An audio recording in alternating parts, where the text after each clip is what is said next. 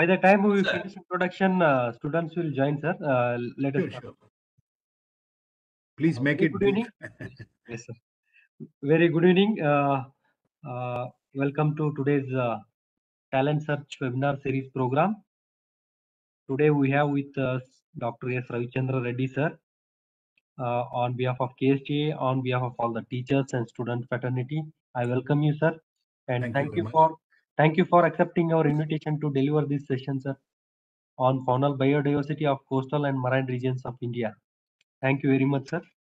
Thank you. And also, I would like to welcome all the students and teacher fraternity who have joined with us in this WebEx platform as well as who is watching this session in the YouTube channel live. Also, I would like to welcome all my colleagues, technical team, non-technical team, who are working behind this. And before starting today's session, I would like to give a brief introduction about Dr. S. Ravichandra Reddy, sir. Sir has finished his BSc and MSc and PhD from Bangalore, and he is a fellow of KSTA. And Professor S. Ravichandra Reddy, sir, finished his PhD degree in the year of 1973, served the Department of Zoology, Bangalore University as a lecturer, reader, and professor of fishery.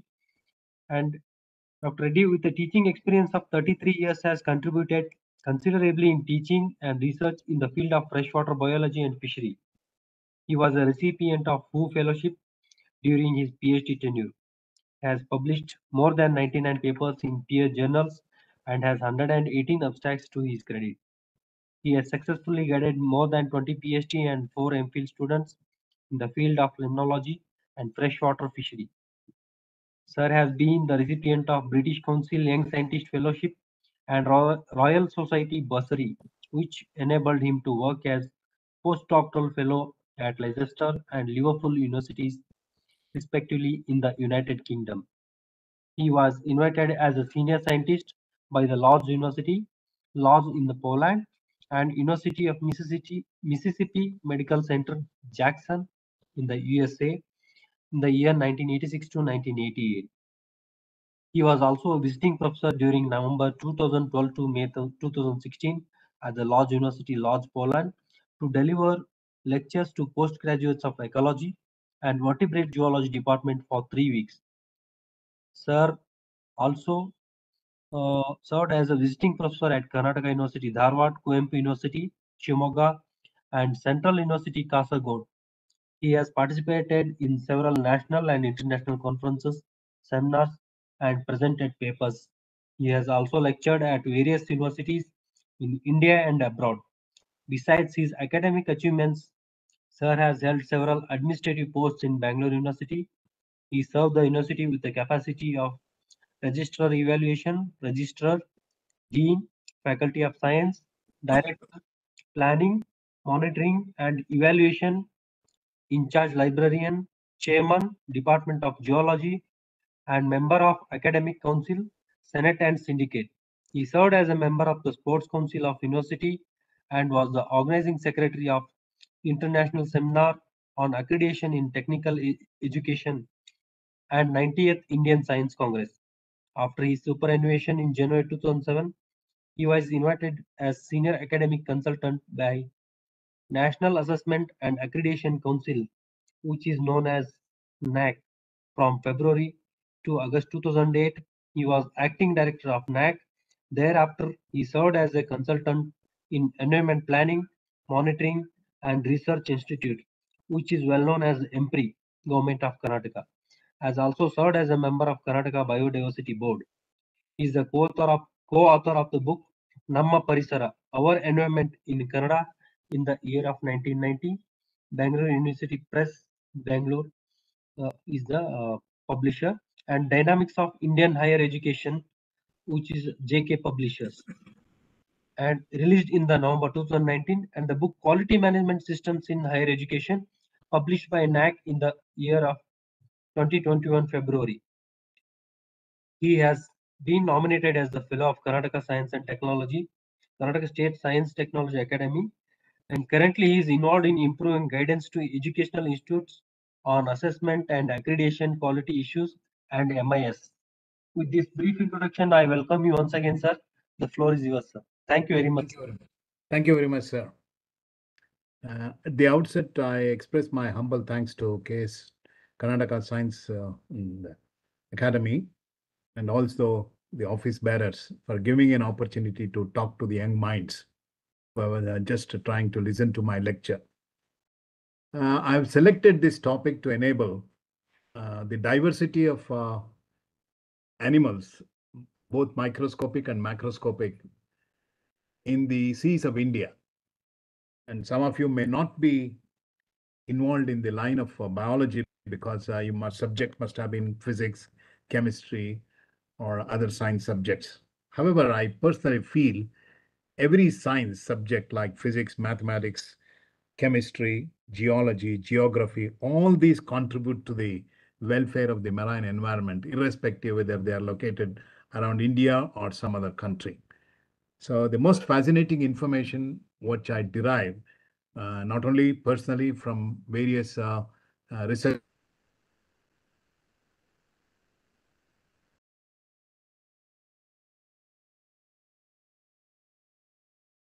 three aspects have to be met by the animals which live in the sea.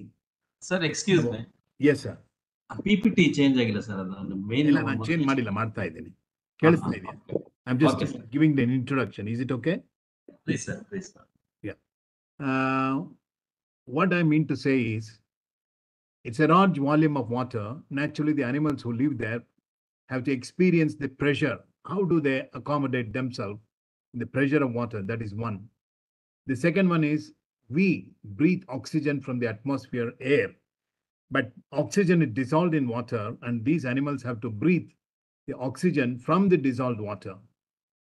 And uh, number three, ocean is full of salt 35.5 parts per thousand any ocean for that matter and if the water is getting into the animal it means salt is also getting in and they have to face the problem of uh, uh, loads of salt getting into the body if these animals are successful it is because they are able to overcome all these and able to live happily and diversify themselves in these one now Excuse me. Yeah. What is, happening?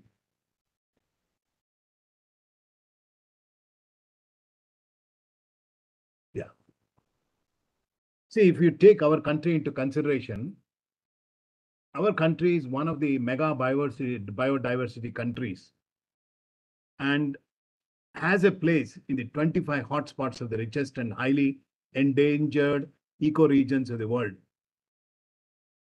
And uh, we are among the one of the earliest Asian countries. And it, perhaps it is the only one that has a long record of inventories of coastal and marine biodiversity dating back to at least two centuries ago. That means our forefathers have uh, done extremely difficult task of collecting information about the fauna and flora in the marine habitats of India. And today, because of their work, we have been able to understand what lives in the seas around India. That's very important. Now, if you look at the area that is available all around our country in terms of uh, marine region, you would realize that uh, the right from upper north region on the western side, from Gujarat, then coming down to Indian Ocean, going up Bay of Bengal till the Bangladesh commences, the total mileage that is available in terms of seawater is 7,517 kilometer, which is equivalent to 4,671 miles. And um, we have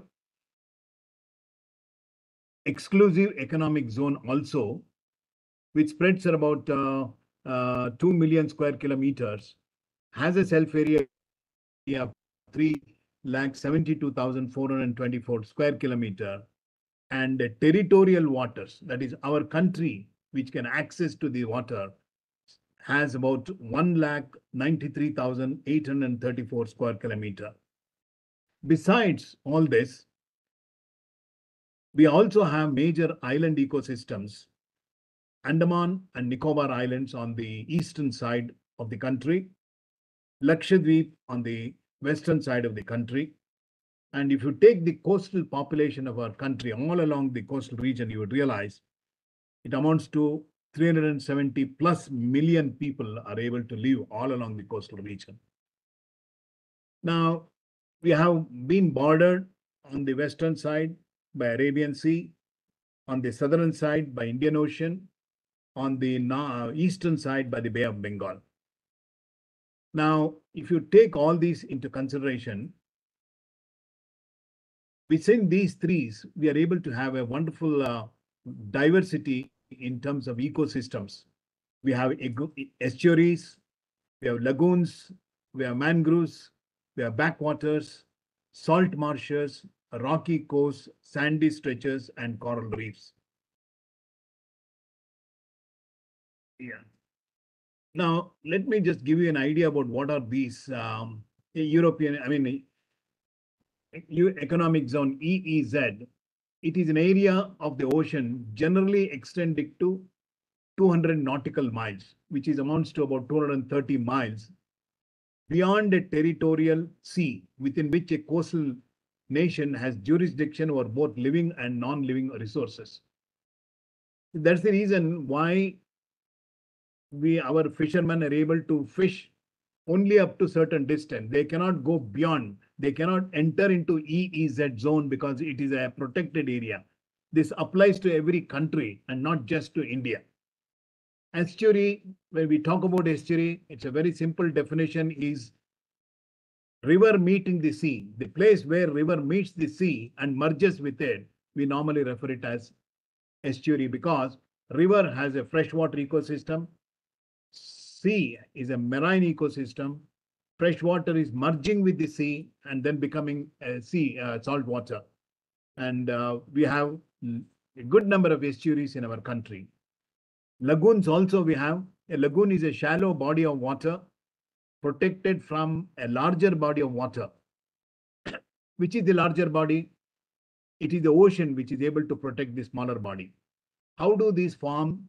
These are sand formed by sandbars, barrier islands, or coral reefs. And sometimes lagoons are also called estuaries, but the estuary term is more applicable to river joining the sea. And all along the coastal region in our country, you may come across what are called as mangroves. Mangrove, a tree or a shrub which grows in tidal, chiefly in tropical areas. And uh, if you look at these trees, at the bottom of the tree where roots emer- emerges, you would realize that these roots are entangled and they appear like a big basket. And all along the coast, we have mangroves. Mangalore is one region where you can cite uh, uh, mangroves within the Karnataka. Then sometime you may also come across a term called backwaters. A backwater is a part of a river in which there is very little current or absolutely no current. It can refer to a branch of a main river which lies alongside it, and ultimately this may also join the river again. Uh, and sometimes these regions are backed up by sea so that when there is a high tide, the water gets into these regions and enables them to become salty. And most, I would say, prominent example of backwater you can see is Kerala. Then you have salt marshes, and these are nothing but coastal wetlands that are flooded and drained by salt water brought in by these tides. Please note, these are all marshy areas, and because the soil is composed of deep mud and peat. Similarly, like salt marshes, we have swamps. Wetland ecosystem is characterized by mineral soils. Sea swamps are also there.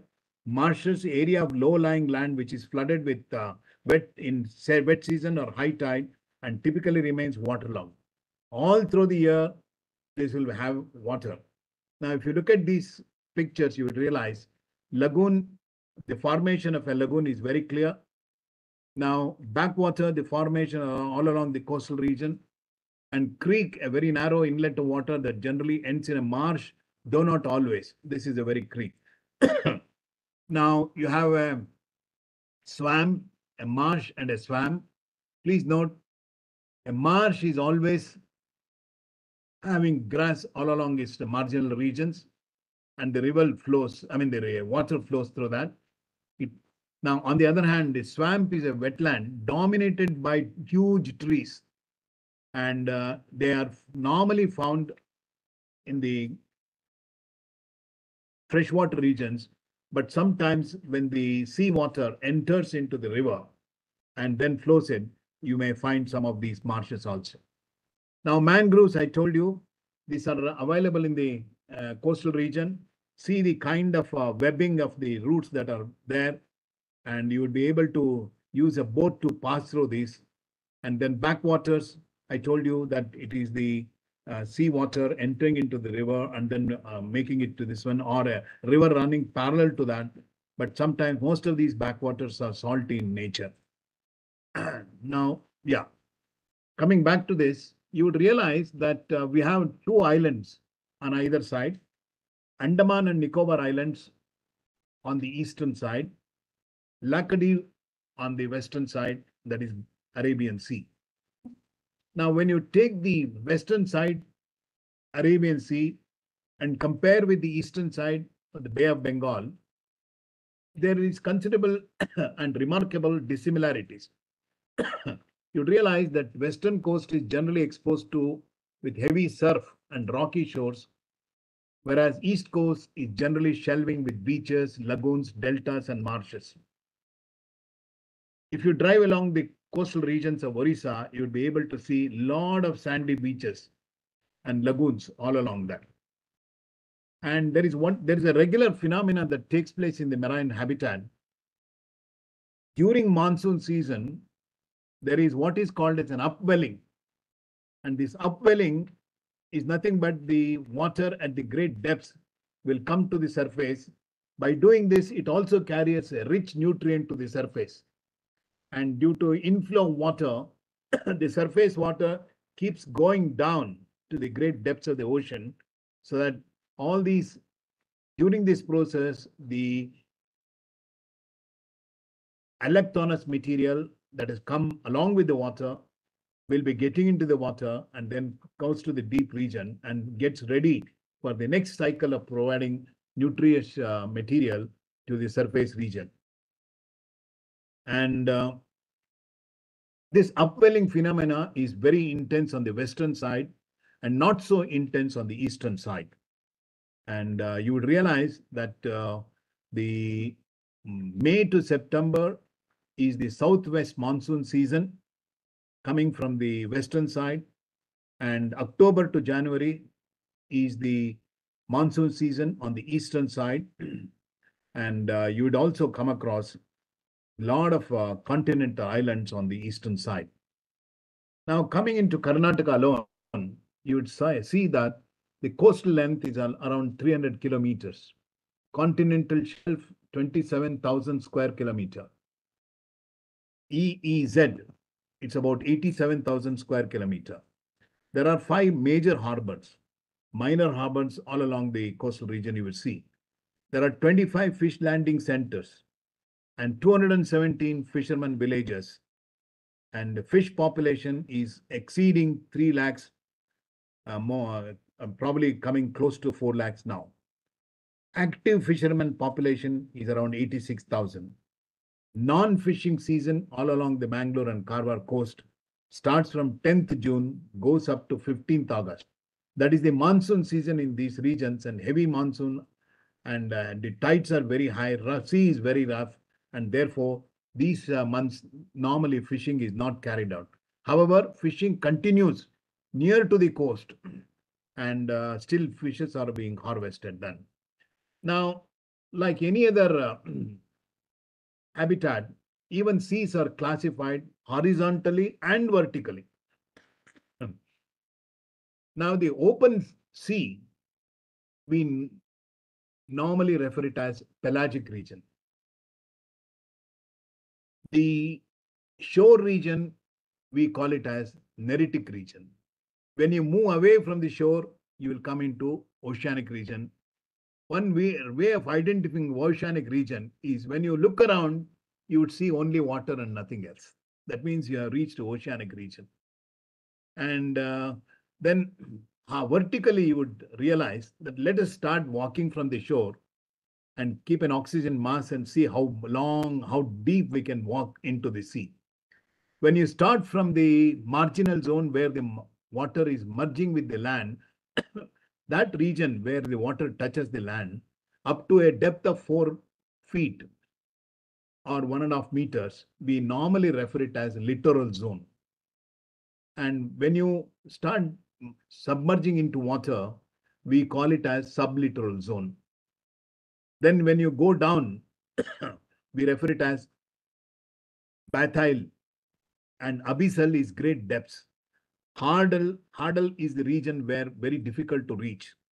And Hadal pelagic, there is still to explore in the Hadal pelagic region. Now, vertically, if you go down, you have the oceanic region, surface water, then the epipelagic zone up to 200 meters.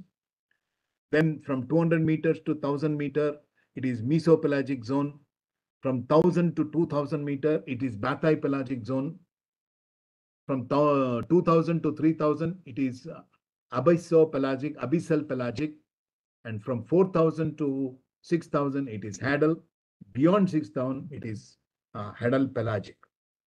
Now, you will be surprised to know that, as I mentioned, pressure impact is so high in the abyssal pelagic region. Still, you find certain variety of animals, sea animals, living there, and they do not come to the epipelagic zone, and they maintain themselves in that region. And uh, here, I have given on the left side very clear division of epipelagic, mesopelagic, bathypelagic, abyssopelagic, head, headal pelagic. And uh, intertidal term refers to, if you have seen a sea, you would realize the way there is a saying that time and tide will wait for nobody and it will never wait. It will automatically come, automatically go back, automatically come, automatically go back. The region where the highest of the high tide touches the land and lowest of the low tide touches the land. That is, lowest of the low tide is the rece- receiving of water or reclaim, re- the going water going back. That means lot of uh, clear zone is exposed. And highest of the high tide means it occupies greater area of land up to uh, every day at a particular time in the coastal zone. And that we call it as the highest of the high tide.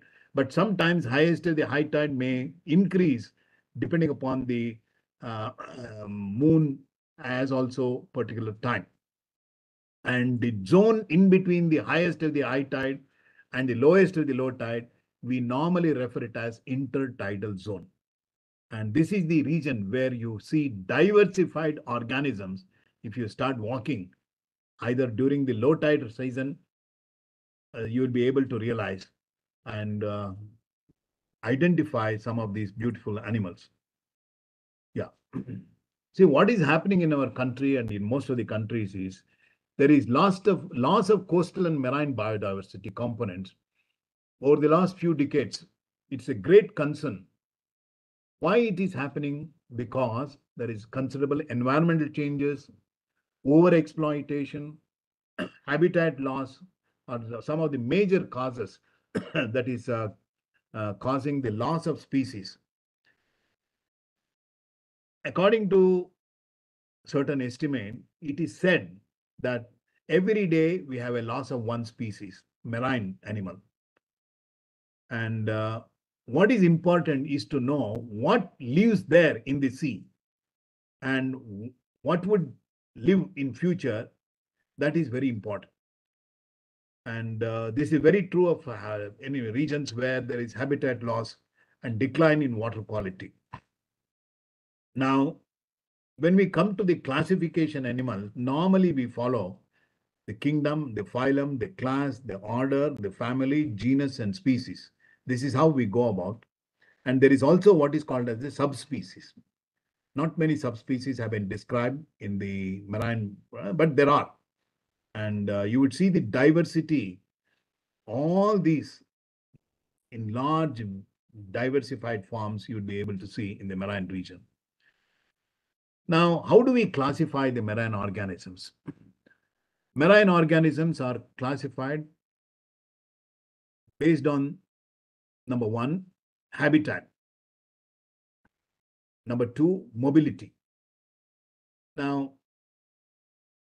habitat, I mean, plankton, if you take, these are the free floating micro or macroscopic organisms which depend on wave action for their transport from place to place.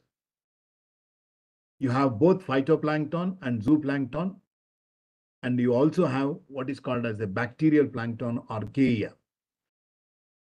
Then you have nekton. These are capable of swimming. And you have benthos.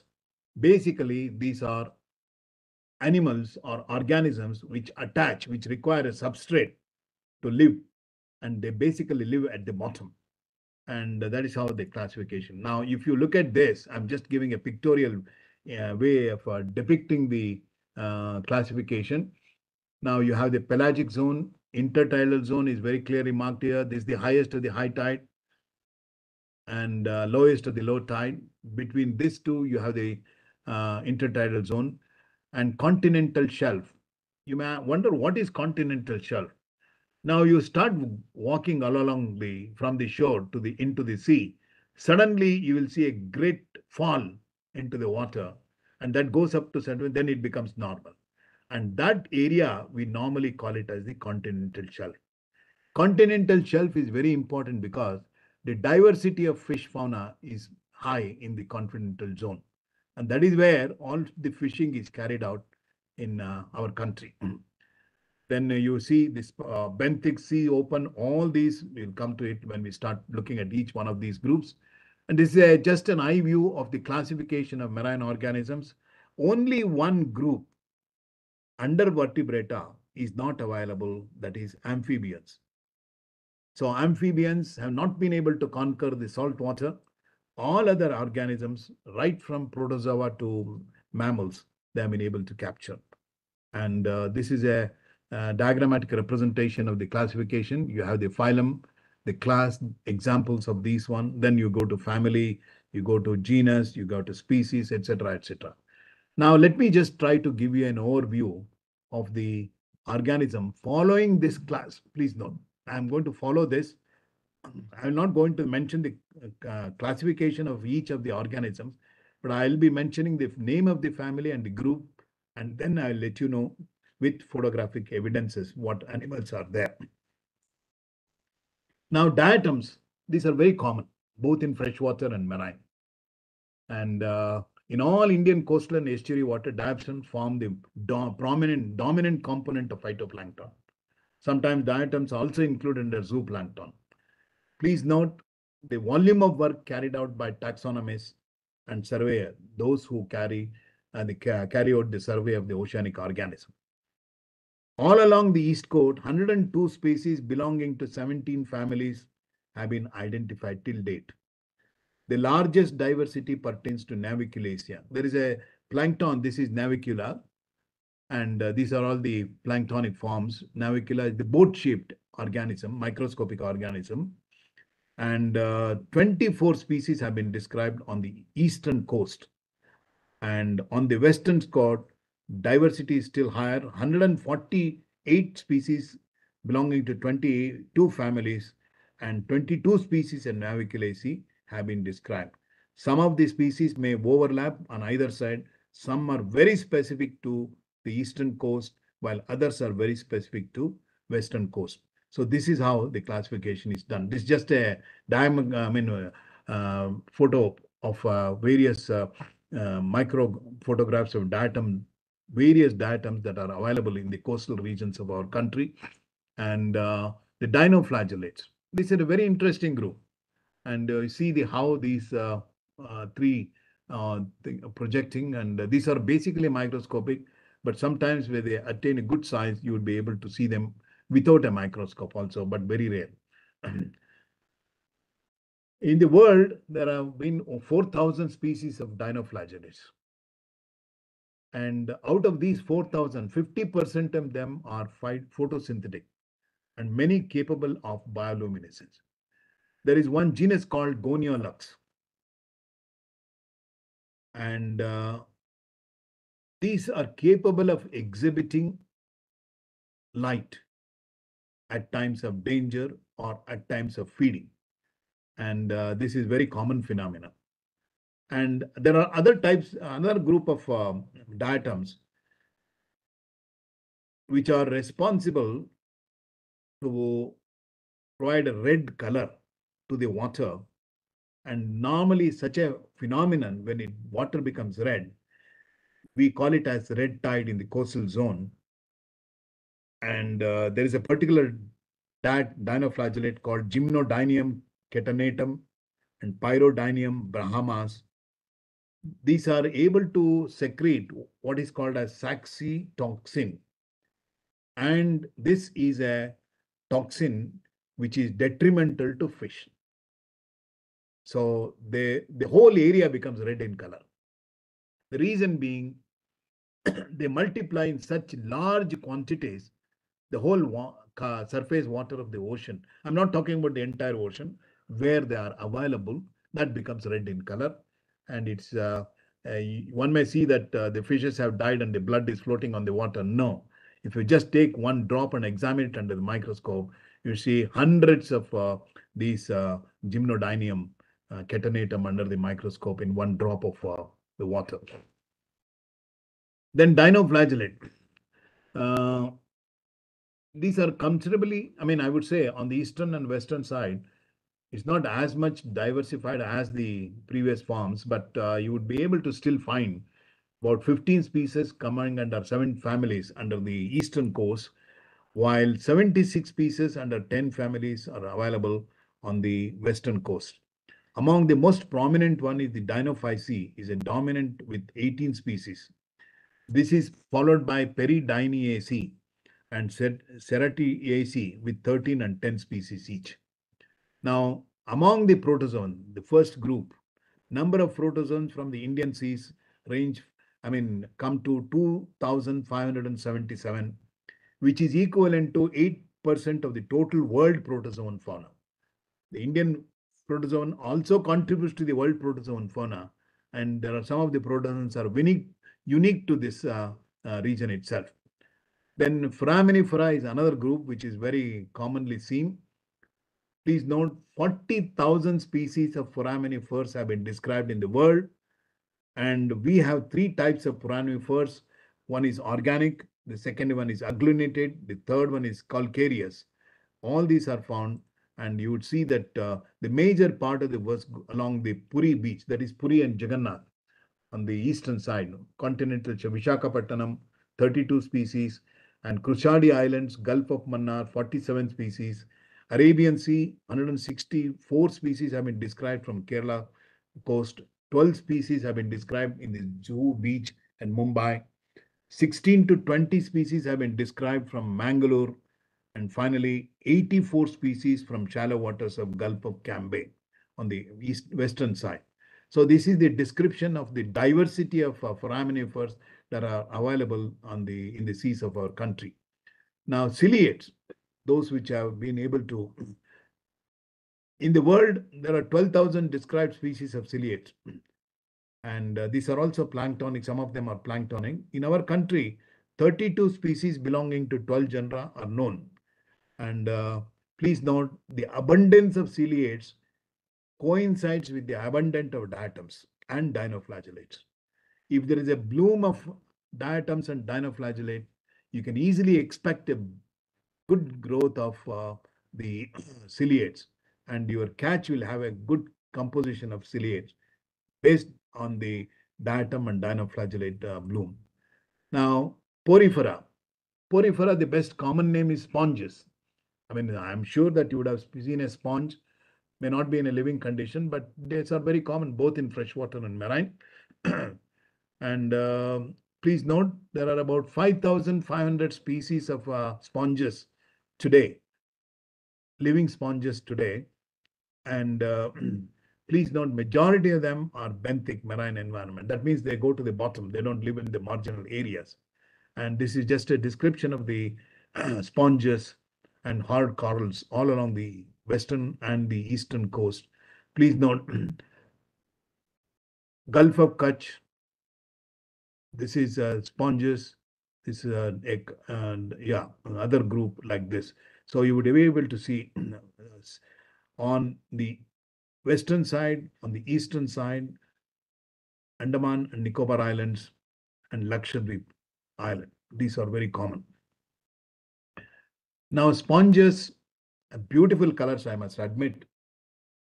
The reason is I'm a scuba diver and uh, whenever I do scuba diving, I look at these uh, uh, animals and they have brilliant colors. You'll be able to see them only when you dive and go to the areas where these are available. Sponges are also visible when you do this uh, snorkeling, but these are deep water sponges and their colors is so fascinating and the surfaces are so inquisitive in the form of what are these and how do they form and all that you know in india so far 486 uh, sponges uh, species of uh, sponges have been described uh, the most dominant species is desmospongia followed by hydrospongia and calisospongia Gulf of Mannar and Palk Bay has the highest diversity, 319 species. Andaman and Nicobar Islands, 95 species. Lakshadweep, 82 species. And Gulf of Kutch, 25 species of uh, sponges have been described. Please note there are also sponges in the fresh water. I'll not deal with it here. Now see the beautiful colors that you are able to see and the diversified uh, structure, external structure this is a Clathrina mima, fire sponge, Monanchora arbuscula, red encrusting sponge, and uh, Acanthella klethra. This is orange ball sponge, and uh, oral encrusted sponge. Then Haliclona phasigra, fascigera, and there's a blue, blue sponge, and then Stylissa ma massa, mango sponge. This is the inside of a mango. Looks like beautiful color. And uh, now coming to Coelenterata, uh, phylum Cnidaria is highly diverse. You must have heard about jellyfish, sea anemones, and corals. And uh, common laboratory hydra also comes under Coelenterata. uh, see, if you take the number of extant, that means those who have totally disappeared species, they amount to about 11,000. That means we have lost a very good uh, rich resource of uh, cnidarians from this world. And many species exhibit dimorphic life cycle that includes two entirely different adult morpho morphologies, polypoid and medusoid form. Now, global diversity 9,000 to 12,000. In Indian seas, see, Cnidaria has three classes, Hydrozoa, Scyphozoa, Anthozoa. And uh, under Hydrozoa, 212 species have been described while the number goes down considerably under Scyphozoa and increases significantly under Anthozoa, 600 species have been described. Now, these are some of the Scyphozoans and uh, this one. So you would be able to see some of the pictures, some of the Cnidarians. We normally refer this as sea fan. And Hydrozoa. First description Hydrozoa is made by Annandale in the Chilka Lake. Chilka Lagoon, we also call it. And this is, please note, this is in Orissa. Subsequently, Menon reported 35 species under 20 genera. Mammen described 116 species belonging to 13 families. Milleporina, Stylasterina, Trachylina orders have received little attention. Bougainvillia, Calycopsis, Hydra, Hydrocoryne, Pennaria, Sarsia, these are the popular forms which have been described under hydrozoa. Hydroids are mostly benthic. See, these are some of the hydrozoans which have been described. See this beautiful creature, uh, this one. And uh, you have such a fantastic fan-like structures, uh, polyps, and uh, this one, funnel-like hydroid. And then Siphonophora, polymorphic floating colonies, Physalia. See, the common name for Physalia is Portuguese man of war and uh, Rhizophysa, agalma. These are some of the most common forms which are present both on the eastern side and on the western side. Uh, Indian siphonophora are very abundant and constitute an important part of marine. And uh, we have 116 valid, one variety, and three doubtful species have been described. 89 occur in the Indian size. Now, Cnidaria, total there are 842 plus. Plus refers to it is being added on. Hydrozoa 212, Scyphozoa 34, Anthozoa 227, Ctenophora 12. Now, please note this is uh, jellyfish. And uh, they'll be beautiful to look at when they start swimming. And upside down jellyfish, Cassiopea andromeda. Cnidaria, this uh, jellyfish are found every ocean from the surface to deep sea. Uh, so large, often colorful jellyfish are common in coastal zones worldwide. Now these are, please note, this is sea anemone. Uh, this was shot in Karwar, Rocky Shore, and uh, Heteractis magnifica, magnificent sea anemone. See, the advantage of anemone is that these are some of the marine aqua, I mean, I would say colorful fishes. They take shelter and they also exhibit what is called as a uh, mutualism. That is, this is able to feed on some of the uh, host uh, parasites while the fish gets uh, rubbed by these uh, polyps uh, tentacles and that is the advantage of this please note this is a actually uh, this is jellyfish looks like a starfish. Now anthozo coral reefs. See we have corals. Some of you might have kept it at home also. Uh, any variety of um, marine anthozoa are normally referred as corals. and the corals, unlike other marine organisms, they have what is called as a skeleton, external skeleton, internal skeleton. It, could be external or it could be internal. And basically, they are stony or leathery consistency. And sometimes the coral term is also applied to the skeleton rather than the animal itself. Stony corals, Madreporaria, Scleractinia, 1000 species have been described. Black corals, Thorny coralia, Antipatharia, and horny corals, Gorgonacea. This is 1200 species. Blue corals, Coenothecalia, one living species have been identified. Now, this is, gives you an idea about which are the regions where corals are available. Now, you have Lakshadweep Islands, you have Palk Bay, Gulf of Mannar, and Sri Lanka. Then uh, you have Andaman and Nicobar Islands. In India, we get three types of corals. One is atoll, the second one is fringing, and the third one is barrier reef. And uh, fringing reefs are found in Gulf of Mannar, uh, this the region. Then, um, yeah, and Palk Bay. Uh, platform reefs are seen along the Gulf of Kutch.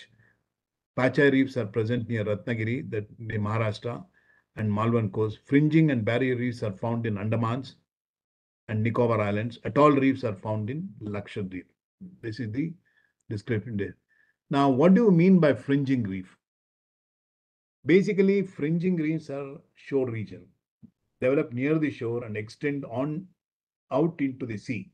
They start from the shore, then go into the sea.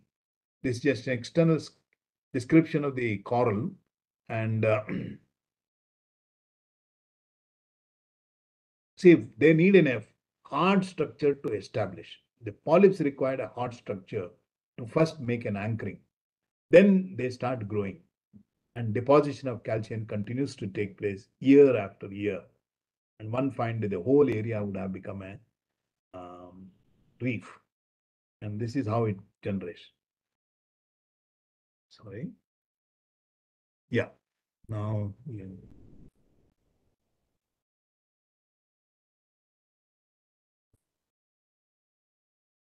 Sorry, there's uh, just a wait. Yeah, yeah, correct.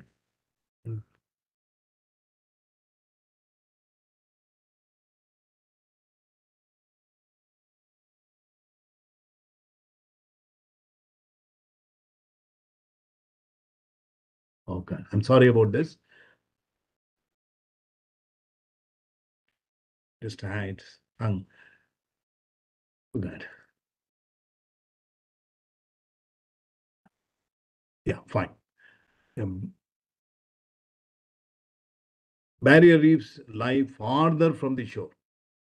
They are away from the shore and contain a relatively deep lagoon. This is what you mean by deep I mean depression, you call it as that. And uh, you have this. Yes. So normally these are available only after 100 kilometers from the shore. And sometimes the length of these coral reefs may range up to 2000 kilometers in length. So it depends on how this one. Now atolls. So please note, it is something like a, what can I say? Um, a depression and um, a reef with steep outer slopes. These are the steep outer slopes that surround a central lagoon. They are found far from land and mainly in the Indian and South Pacific Oceans. So now corals was study on corals was initiated in our country in the year 1847 and later it was continued in 1988 and elaboration of this study also took place in 19, 1988. Andaman and Nicobar Islands are the richest coral species uh, diversity as compared to those of Gulf uh, for Kutch in uh, comparatively poorer. Uh, on the other hand, Lakshadweep have more number of species than the Gulf of Mannar. And from the Indian Ocean, 227 species belonging to 71 genera and 12 families have been reported. Only 44 species have been described among the deep sea corals. Now, let me know. Yeah. Please note the corals have a very rich commercial importance and they provide a lot of resources which are commercial which have a commercial value. As a result people have been exploiting corals. Coral sands coral debris is widespread. Exploitation is taking place in some of the places like gulf of mannar and gulf of kutch. Now these are some of the photographs of corals which also provide beautiful colors. This is called spinal cup coral pectinia pectineata bird's nest coral, Seriatopora hystrix.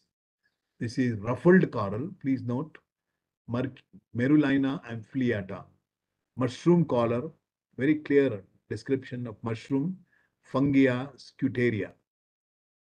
Now, these are some of the corals. I am not go spending too much time. And we come to the next group, Annelida. And uh, most uh, Annelida, the best example I can suggest among the land is the earthworm comes under Annelida. And Annelida has diversified forms and these are the marine annelids that have been described. So please note Archiannelida, we have 20, polychaetes, 200 species, 800 species, 30, 83 species have been described. Central Marine Fisheries Research Institute has listed 200 species of maritime marine polychaetes. Oligota, uh, Oligochaeta are poorly known. Sipuncula is a very common one. They are available in Andaman and Nicobar Islands, Gulf of Mannar and Gulf of Kutch, Echiura, and uh, 33, Chaetognatha. These are normally referred as arrow worms. Very nice to look at because the shape of the organism is in the shape of an arrow. Hence, it is called arrowworm. And uh, so rank second after this one. Tardigrada, there are about uh, 10 species occur as meiofauna. Very this one. Please note these are some of the forms which have been described. And uh, this is fan worm, Sabellastarte indica, then sandworm, Nereis. and you have the social feather duster, Bispira brunnea, and then Sipunculus. This is also very common. Now, these are some of the other forms of uh, annelids that have been described in the seas of India, and I'll not being able. Yeah, now come to the next group, crustaceans. See, in the marine habitat, crustaceans are one of the most popular invertebrate groups that are available there are about 67,000 described living species of crustaceans in the world. it's interesting to note the smallest crustacean is 100 micrometer in length. Please note, it is not even meter, it is micrometer. The largest is the Japanese spider crab with a leg span of 4 meters. 4 meter is not an ordinary, uh, this one. The biomass of one species of Antarctic krill, Euphausia superba, has been estimated at 500 million tons at any given time. See, we established uh, a station in Antarctica to claim that we also have a claim the portion of the Antarctica. And our some scientists have been working on Euphausia superba because it is predicted that in the near future, if Antarctica superba will replace the protein requirement of human beings. So that is the level at which uh, it's being uh, looked at. now, distribution of crustaceans, you will read 69 species have been described in the Gulf of Kutch, 45 species in uh, Lakshadweep, 380 species in Palk Bay, 853 species in the Andaman and Nicobar Islands. And you have the list here. And uh, these are some of the species under global diversity of crustacean species. now you would see in India, Malacostracan 75, Cumacea 30, Tanaidacea 1, Isopoda 33, Amphipoda 139, Phosiaceae 23, Stomatopoda 121. Now, yeah, a total of 144 species, 75 genera, and 19 families of barnacles. Barnacle is another very important uh, crustacean that has been indicated. And you see, these are some of the barnacles which have been growing in the coastal zone. And um, you see, all this is equipped with the barnacle. This is the, see, Gujarat 17 species, Maharashtra 18 species, Goa 5 species, like that. We'll come to Karnataka. Will, no, all this is, see, there is what is called as marine fouling organisms what do you mean by marine fouling organisms? You would realize that um, these require a substrate for attachment. The whole life cycle is spent as an attached form and not a free swimming form. So what happens is one of the best surface for attachment is the wood of the ship or the plates of the ship, which is submerged underwater larvae of these barnacles get attached, then start growing. Now, once they start growing, in not in one or two numbers, hundreds of them, thousands of them, the disadvantage is that the ship is not able to sail faster because it has to take the impact of these barnacles. now, in America, people have worked extensively and they have been able to develop anti fouling agents. Some of these are listed under fouling organisms. And Americans have identified, even Japanese for that matter, have identified anti fouling agents. What they normally do is when they build a ship or a boat, they paint with these anti fouling agents. And as a result of that, no barnacle is able to attach themselves. And the cruising speed of the boat will continues to remain the same and it will not go down. So that's the advantage of uh, this one. So these are some of the barnacle distribution in our country. Pelagic goose barnacle, acorn barnacle, Balanus species. And these are some of the barnacle. They are sessile. Please note, as I mentioned, barnacles are sessile and suspension feeders. Uh. Now, decapod crustaceans, we have commercial shrimps and prawns have been recorded in India. 55 species, Brachyurans 705, Anomura 16162, Mollusca 3370, Bryozoan species occur in 200. Now, these are some of the uh, crustaceans which are very commonly seen in the coastal region. And uh, the crabs and beautiful uh, coloration is also there. And um, you know, these are some of this one very common And you will see some of the beautiful um, banded coral cleaner shrimp. It is a shrimp, basically, it normally found in the coral region. It is able to use the food attached to the coral or clean that. And sexy sea anemone shrimp, and you have anemone shrimp, periclyminus brevis carpathis. Now, hinge backbone rhino, consonitis, durbanensis. See the structure. It's very difficult to identify where the head is, where the like. This is the crab, ghost crab, and a beautiful colored uh, red spotted crab, stone crab, and a fiddler crab, fiddler crab, use Eucard tetragonon. And these are some of this one. Now coming to the next group, mollusca, were first studied in the beginning of 20th century. Please note, till the century century, no study was made on the molluscan fauna of our country. From in the 20th century itself, they have been able to identify 5,070 species of mollusca and 3,370 are from marine habitats.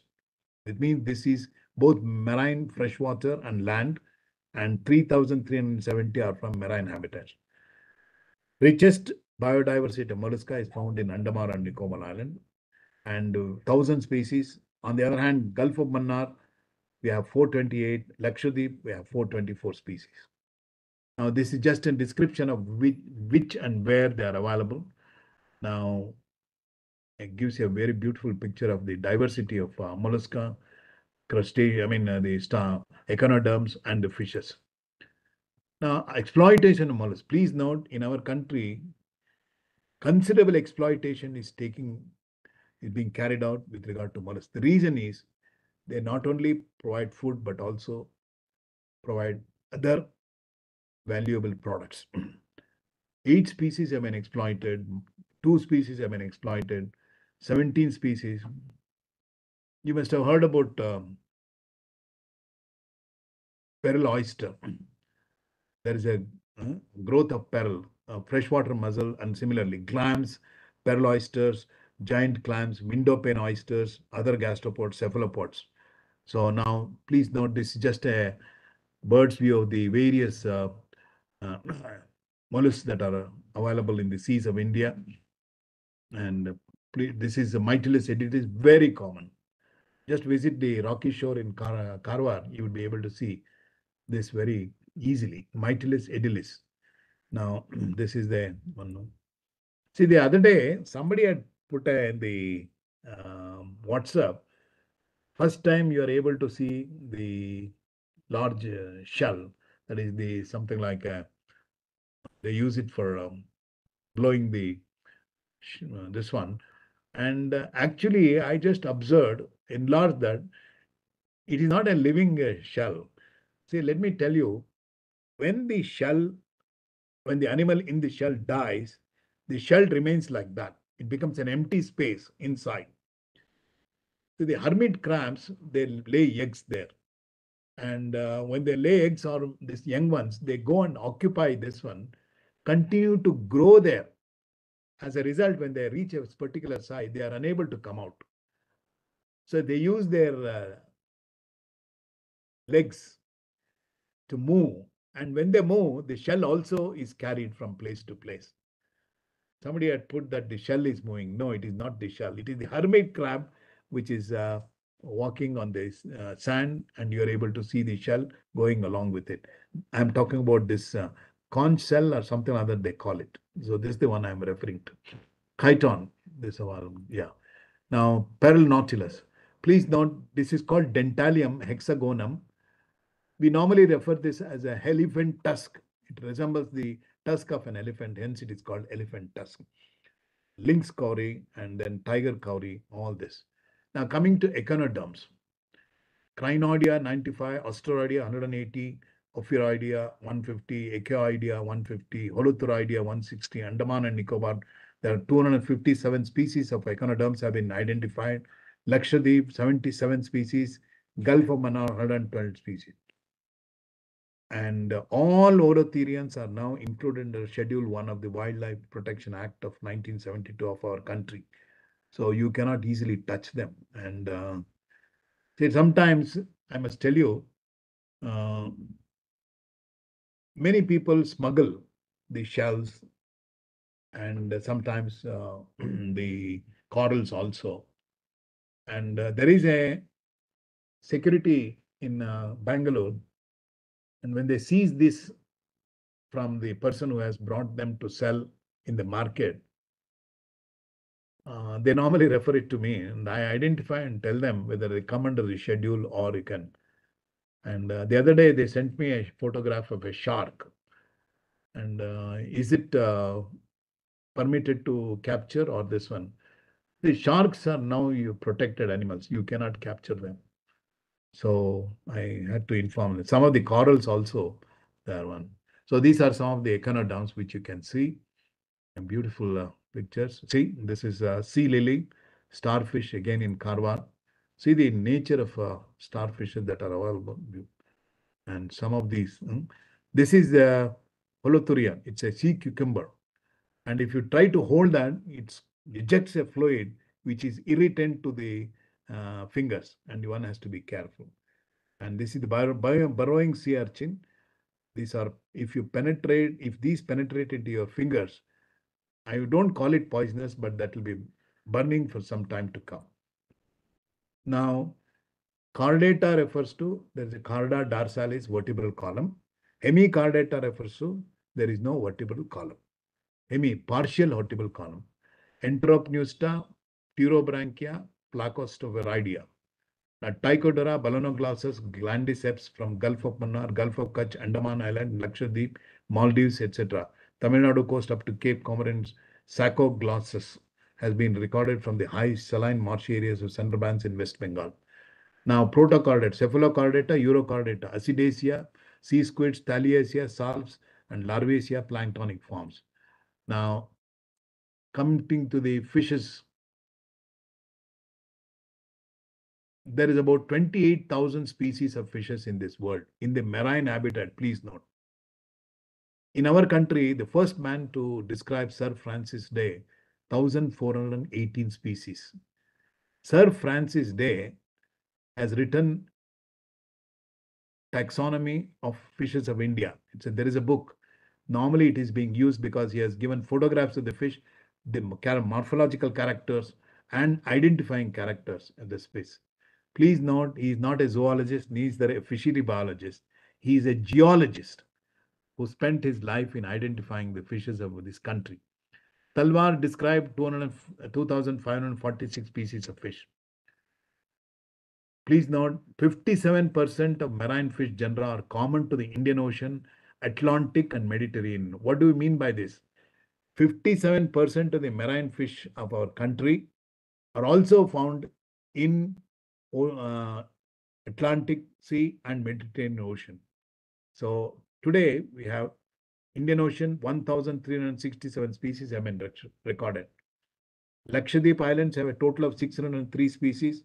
Andaman and Nicobar Island 1,000 species. Gulf of Mannar has 538 species. The exact number of species associated with coral reefs of India is still to be found because coral reefs you get large number of uh, diversified forms, beautiful colored fishes.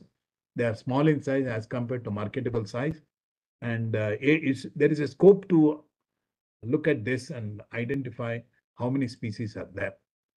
Now, according to our uh, Wildlife Act, which are the species which have been included under threatened species? Scoliodon, Carcharia species. The other day, which was sent to me, was a Carcharia species. Chiloscyllium, Race Dasyatis, Aetobatus, Skates, Rhynchobatus, and Rhinobatus. Now, this is the most common fish, marine fish, which is available. Indian mackerel, it is called Rastrelliger kanagurta. and uh, this is the oil fish, Indian oil, sardine oil. And Clupea longiceps, intense along the west, high concentration of omega-3 fatty acids is available. Now, this is called ribbon fishes. And uh, you, if you are, visit Karwar, please visit the uh, Kali River uh, estuary. You would see people hanging these fishes vertically down along bamboo po- poles. They tie a thread between two poles and hang these fishes so that they dry them, and the dried fish are sold in the market. This is a ribbon for Trichiurus cephala, Lepturacanthus. Now, yeah, see this baskets of ribbon fishes are being brought to the shore. Now, these are some of the ornament, I won't call it ornamental, very, in, I mean, uh, diversified species of fish.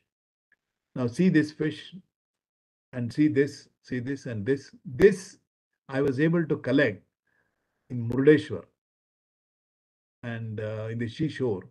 And this is nothing but a uh, see what happens, you know, it has all these scales of the fish have been modified into spines. And it will, these are the eyes. now, when during non aggressive time, that means when there is no threat, this will be normal, the spines will be flat. It looks like a scale. But supposing there is an invader, including human being, it engulfs water and sand into the mouth and then takes it inside and all these spines become erect. And it's not easy to capture hold on to that. And uh, so this is the beauty of this fish. And uh, yeah. Now coming to reptiles this is from india please note. Pelamis platurus linear Karwar region was shot. And uh, leatherbacks i mean you have 26 species of uh, snakes belonging to the family hydrophidae sea there are five species of uh, turtles and uh, seven species of turtles are reported in the world of which five of them have been recorded in and around india only seven are there in the world of which five are recorded in our country the leatherback sea turtle Dermochelys coriacea is a rare species. Now this is Pelamis platurus. Now this is the other genus Laticauda, Indian sea snake. See, when the nets are cast, sometimes when they bring it to the shore, you would see some of these snakes, which are being caught in the fish nets and then brought to the shore. They're still alive. Normally, the fishermen just leave it back to the sea. Uh, this is the one. Now, this is the olive ridley turtle, which is very famous in our country. And uh, now this is the nesting sites of the olive ridley turtle. And uh, a typical arribada, the place where they nest in aggregation. Please note all this they come from the sea and have nested. This region, this process is called Neri Arribada, A-R-R-I-B-A-D-A, Arribada, Lepidochelys olivacea. Now see this, these are the young ones after hatching from the eggs, they move away. Even today, during the nesting season, the coastal region is protected, particularly in Orissa, because they do this. And I believe in Karo near Mangalore also, they have started some this one, and nowadays they are trying to protect them. So now coming, let's coming to the last group, marine mammals belonging to three orders, Cetacea, Carnivora, and Sirenia. Only 40 out of 120 are reported in our country. 25 species of marine mammals belonging to Cetacea and Sirenia are reported from Indian seas. Majority are oceanic. Oceanic means far away from this marginal or coastal region. Government of India has so far listed three species of cetaceans and dugong sea cow in Schedule 1 of the Wildlife Act. They are protected animals. You cannot kill them, neither can you capture them. 40 species of cetacean have been reported from Indian Ocean, among which 25 species are represented in India. 20, one is endangered, four are vulnerable, 20 are insufficiently known. Dugong is considered as vulnerable. Indian Wildlife Act 19 listed only three species of cetaceans Irrawaddy dolphin, Ganges River dolphin, and sperm whale and the dugong in Schedule 1. Now, please note this is the sea cow, dugong. This is the hunchback dolphin. This is Balaenoptera musculus indica, that is the Indian blue whale, and uh, bottlenose dolphin. These are very common in our waters. Now, let me go back. This is about the diversity of fauna in the seas of India. Uh, you young minds, I must tell you that uh, how the marine habitat is protected and who are all in charge of that. Government of India at the top, you have Ministry of Agriculture and Forestry. Under this, you have Indian Council of Agricultural Research. There is a section called Fisheries. One deals with freshwater, the other one deals with marine. Now, there is also what is called as the Coastal Science and Technology Cell, Oceanic Science and Technology Cell, under Department of Ocean Development, DOD. You have ocean engineering and robotics, marine placer deposits, marine geology and geophysics, marine coastal ecology, marine biology, coastal marine culture systems, marine microbiology, marine benthos. Please note these are the discipline various universities have been offering and doing a lot of research in this. And we also have in the National Institute of Oceanography at uh, Goa a center for expedition to Antarctica. And uh, if you are interested, you apply. And if you are selected, you'll be taken to Antarctica and made to do some research. That's the advantage. And uh, it's really worth it. I still know that one of my colleague from uh, uh, University of Goa, he participated in Antarctica and was there for uh, four months in Antarctica. Please note the conditions are different than what you imagine in a place like Bangalore. And uh, these, see, are, why I'm mentioning this is these are the areas where one can put their future plan. You can do a lot of things here. And that is what I mean. Institutions under Government of India, Marine Fisheries Sector, Center for Cellular and Molecular Biology, CCMB at Hyderabad, National Institute of Oceanography, NIO, Goa, Central Marine Fisheries Research Institute, CMFRI, this is in uh, Cochin, and Zoological Survey of India, that's located in um, Bengal, that is uh, Calcutta. now, this is some of the university which deal exclusively with fish and other related uh, fields. Cochin University of Science and Technology, they offer a course, degree course. Fisheries College, Mangalore, they also offer MFSC, Master of Fishery Science, Bachelor of Fishery Science, and MSc course in Marine Biology is offered, which is now under Dharwad, Karnataka University, Dharwad. Goa University also offers a fisheries course. Center for Advanced Study in Marine Biology, Annamalai University. Fisheries College, Tamil Nadu Agriculture University.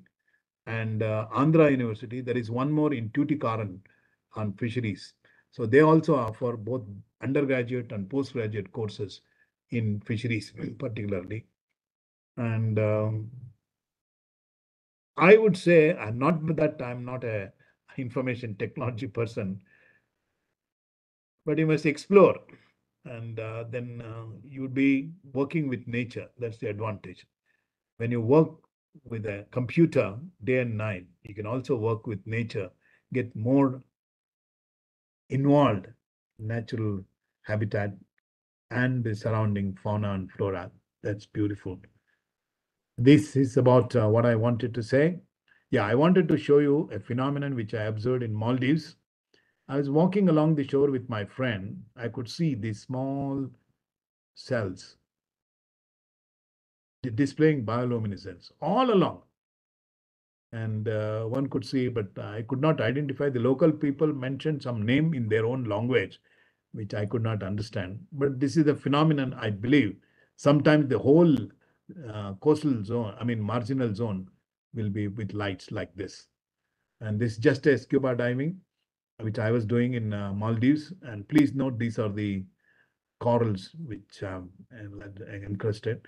But I, due to lack of time, I have not been. I am unable to show you some of the beautiful uh, colored fishes in the coral region. Thank you very much. And if you have any questions, please ask. Keep your mind open instead of just jumping directly into information technology. Thank you. Thank you very much, sir. Thank you, sir. Sir, thank you very much for a very insightful and informative talk on marine resources. In fact, uh, many of the things that I had learned some 30 years ago it was like a recap, sir. Thank you very much. Yeah. Are there any questions? I'll be happy to answer them or provide some information. ಹಾ yes sir S ಯಾವ್ದಾದ್ರು ನಿಮಗೆ doubts ಇದ್ರೆ questions ಇದ್ರೆ ದಯಮಾಡಿ ಕೇಳಬೇಕು ಅಂತ So the voice is little s- low. I don't know the reason. My voice sir Yeah, now now it is better, sir. ಹಾ okay Sir, I am very thankful to you for a very insightful and informative talk. Marine resources. Sure, students would have got lot of uh, take home message. Some of them may be interested to pursue their career in marine science. Thank you, sir. ಈಗ ತಮಗೆ ಯಾವ್ದಾದ್ರು doubts ಇದ್ರೆ ವಿದ್ಯಾರ್ಥಿಗಳು sir ಅವ್ರನ್ನ ಕೇಳ್ಬೋದು marine fisheries marine resource ಅಲ್ಲಿ sir ಅವರು ಅಗಾಧ ಅನುಭವ ಮತ್ತು ಪಾಂಡಿತ್ಯ ಇದೆ ನಿಮ್ಗೆ ಏನಾದ್ರು ಡೌಟ್ ಇದ್ರೆ ಕನ್ನಡದಲ್ಲೂ ಕೇಳ್ಬೋದು ಉಮೇಶ್ ಅವರು ನೀವು ಮಾತಾಡಿ ಕೇಳೋಂಗಿದ್ರೆ ಅನ್ಮ್ಯೂಟ್ ಮಾಡ್ತಾರೆ ಕೇಳ್ಬೋದು ಇಲ್ಲದಿದ್ರೆ ಚಾಟ್ ಬಾಕ್ಸ್ ನಲ್ಲಿ ಏನಾದ್ರು ಕ್ವಶನ್ ಇದ್ರೆ ಕೇಳಿ Request if any questions uh, you would like to ask, uh, please raise your virtual hand. I will unmute. You can ask directly to the sir. Otherwise, mention in the chat box. So far, there are no questions, sir. Who can wind up? If there are any questions, we will get back. I mean, if, since you have my email, they can take Yes, my sir. email and uh, write to me. I'll try to Yes, sir. guide them. If Sir, somebody thank you is interested. much again Thank you, sir. for your time and uh, very informative talk, sir. Thank you very much. Thank you very much, sir. I am really appreciate uh, uh, for giving me an opportunity to interact with the students. Thank you, sir. Thank you. Thank you, sir.